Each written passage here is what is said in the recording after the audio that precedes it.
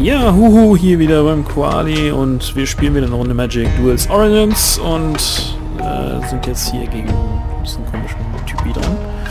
Aber es genügt nicht, nur die Pläne einer Seite zu kennen. Die Sphinx braucht geheime Informationen von beiden Seiten, um erfolgreich schlichten zu können und sendet dich erneut aus. Na, schon wieder. Du triffst auf mehr Truppen, als du erwartet hast. Das Lager muss hohen Besuch haben. Das erschwert deine Mission. Dafür wirken bei Erfolg, äh, winken bei Erfolg noch viel nützlichere Informationen. Ja, alles, es geht alles um Informationen. Ja. Wäre mal ein weißes Deck, wenn man jetzt nicht schon ein grün ist. So, wir haben ohne Ende Mana, vier Mana. Wir haben ein Traumwesen, wir haben einen Phantomkrieger, wir haben einen Drachen. Kann man behalten, glaube ich.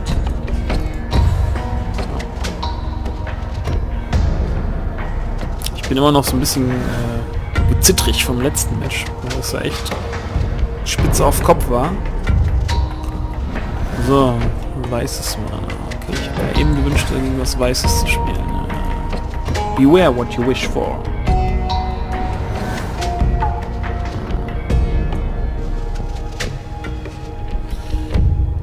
Was bleibt dabei? Ich finde diese Kampagnen-Dinger, also die... cooleres. So, der Phantomkrieger oder das Traumwesen? Hm, ich entscheide mich für das Traumwesen, weil es der bessere Blocker ist. Ich habe so ein bisschen Schiss von dem, was bei Weiß kommt.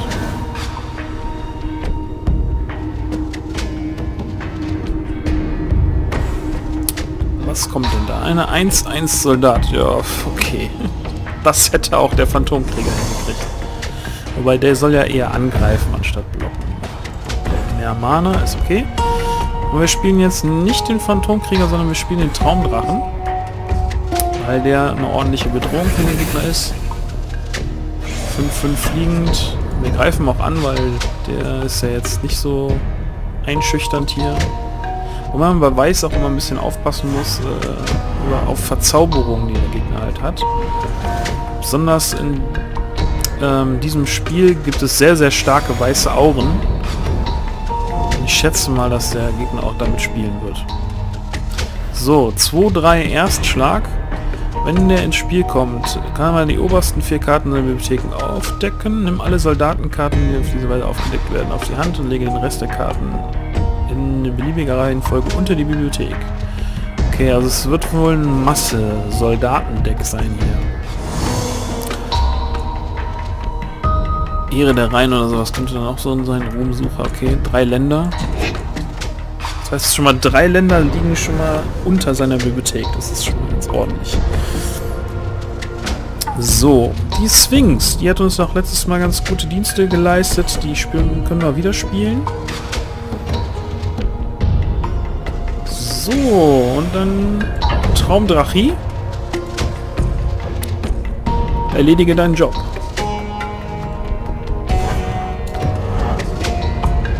Bam. So. Alle Soldaten, die du kontrollierst, halten plus 1 plus 0. Ja, solche Karten habe ich jetzt erwartet.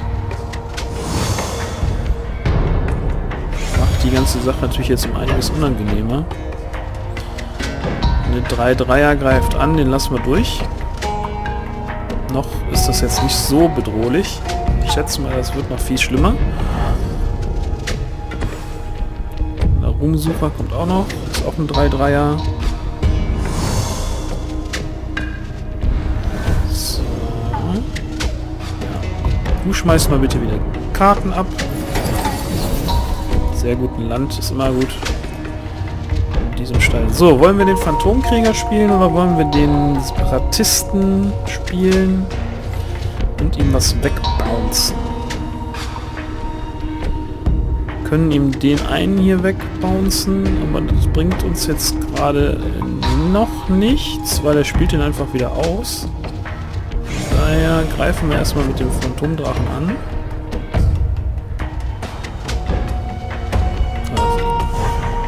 Also, ist der, nee, Traumdrache, nicht Phantomdrache. Und spielen den Phantomkrieger nach draußen. So schauen dann mal, was der Gegner so macht.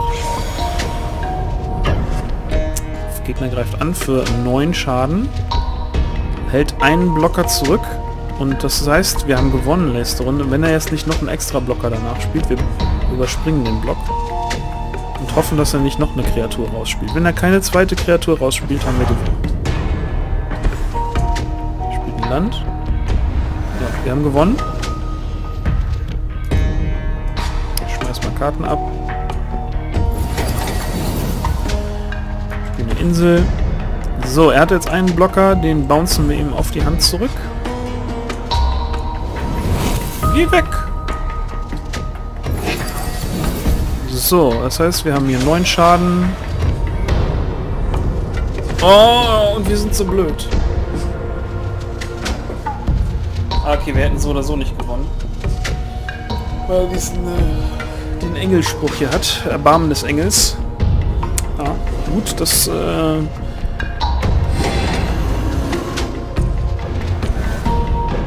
Ja gut. Ähm, da wäre ich mir jetzt noch blöder vor, vorgekommen, wenn ich jetzt angegriffen hätte. Und äh, so habe ich uns jetzt ein bisschen im Spiel gehalten mit dem Missklick. Immer wenn ein Name Kreatur, ja, okay, das kann ich auch.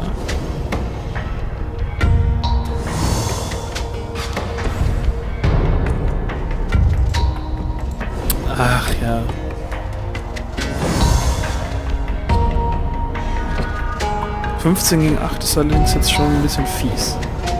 Aber wir haben noch einen Traum dran. Das ist gut. Traumdrachi!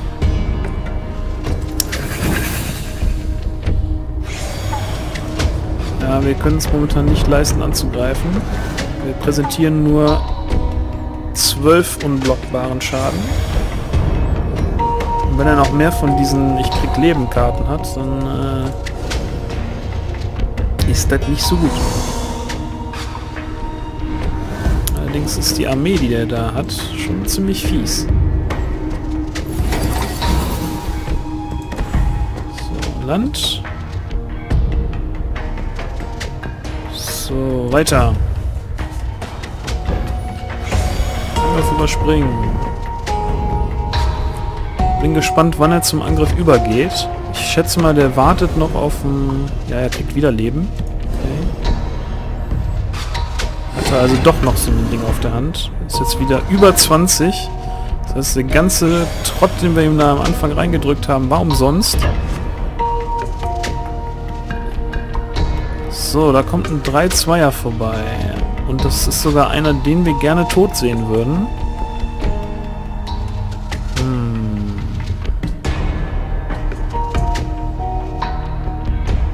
Macht er nicht umsonst. Der muss einen Verstärkungszauber auf der Hand haben. Jetzt überlege ich mal kurz. Was gibt es im Weiß für Verstärkungszauber? Plus 1 plus 1 für jede Ebene vielleicht. 1, 2, 3, 4, 5, 6, 7. Das heißt, ihr könnt den aufpumpen zu einer 10 9er. Heißt, wenn ich den mit beiden Traumdrachen blocke, dann wäre der tot. Mach ich mal. Gucken wir mal, was er hat.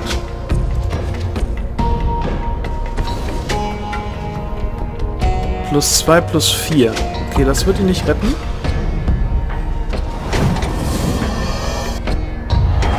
Ein Traum noch geht aber er auch. Das war wichtig, weil der hat die ganzen Soldaten hier stärker gemacht.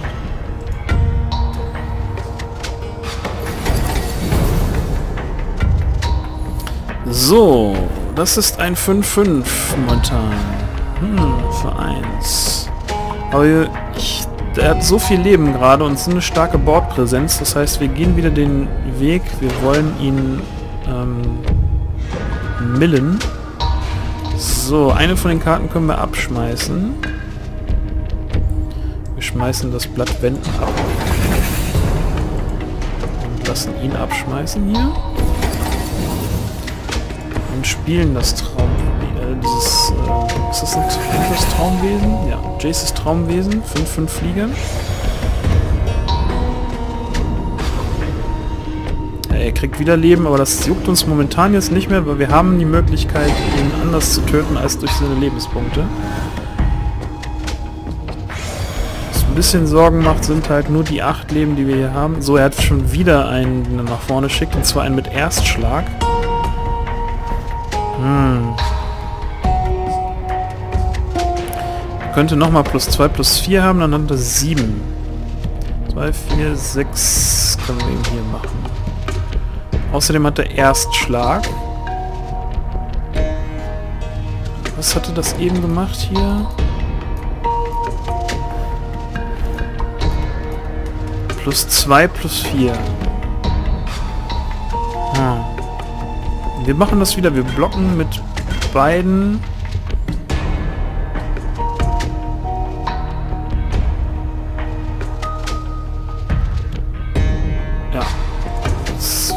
gucken, ob es könnte jetzt natürlich total schief gehen. Nein, geht es nicht. Wir behalten sogar unseren beiden Starken. So, er schmeißt wieder ab. Wir haben Land gezogen. Das werden wir erstmal auf der Hand behalten und nicht ausspielen. Weil wir wollen ja hier erstmal das wieder aktivieren. Und dann schmeißen wir doch lieber die Insel ab, anstatt der Magier lassen ihn wieder abschmeißen. Und spielen den Magier aus. Ja, dieses Spiel haben wir, glaube ich, im Sack. Also, wir haben auch eine gute Bordpräsenz. Über die Lebenspunkte müssen wir nicht, glaube ich. Müssen wir nicht. Ja, siehst, er hat schon den vierte Mal, dass er sich Lebenspunkte dazu geholt. Aber das ist uns relativ Wurst.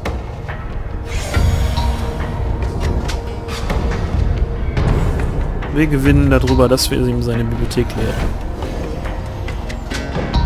So, hier wieder zwei Karten bitte weg. So, dann werden wir eine Karte ziehen mit er.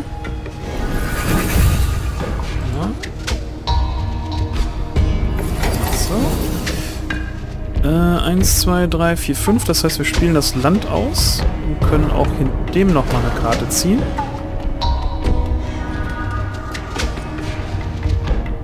und schmeißen das Land ab. Und er darf nochmal zwei Karten abschmeißen. Angriff überspringen wir. Aber wir haben kein, kein Lande mehr, um das Traumwesen zu spielen. Aber brauchen wir auch nicht. Das ist die letzte Runde, in der er was machen kann. Er hat nur ein Land gezogen, kein Problem. So, er schmeißt erstmal zwei Karten weg ziehen wir eine Karte und er schmeißt nochmal zwei Karten weg und wir haben gewonnen. So, für den Fall der Fälle spielen wir nochmal ein paar Blocker raus.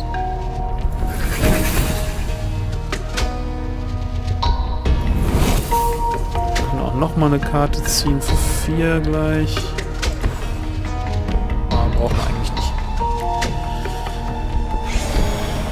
Angriff überspringen, er ist dran, kann keine Karte ziehen, gewinnen.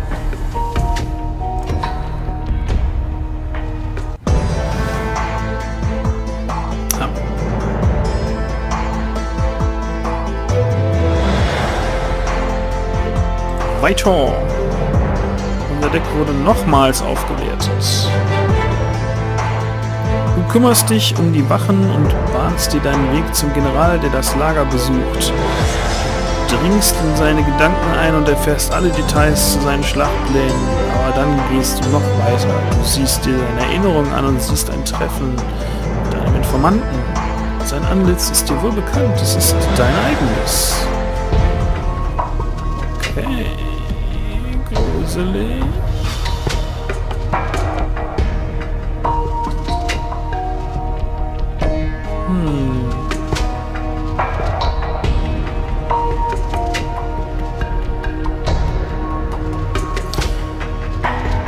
zwei Jahren Training hast du endlich die Wahrheit erfahren. Die Zwings hat dich als Mittelsmann benutzt, um an beide Seiten geheime Informationen zu verkaufen. Dazu hat die Zwings regelmäßig deine Erinnerungen gelöscht. Sie hat dir sogar verheimlicht, dass du ein Planeswalker bist. Als du sie konfrontierst, lässt sie einen zerstörerischen Gedankenangriff los. Also müssen wir jetzt gegen die Sphinx noch einmal kämpfen. Aber das erst in der nächsten knuffigen Folge von Magic Duels Origins von Koali. Bis dahin, have fun. Tschüss.